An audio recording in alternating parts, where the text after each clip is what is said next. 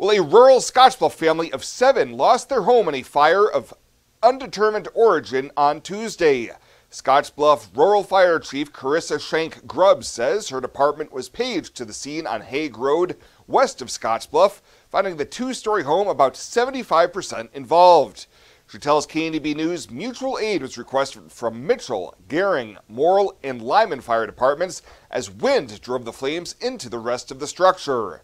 She says the fire was brought under control in a few hours, but crews did not clear the scene until before 3 a.m. this morning. No injuries to the occupants, however, numerous pets, including four dogs, perished, and one firefighter was taken to the hospital for treatment of heat exhaustion and released.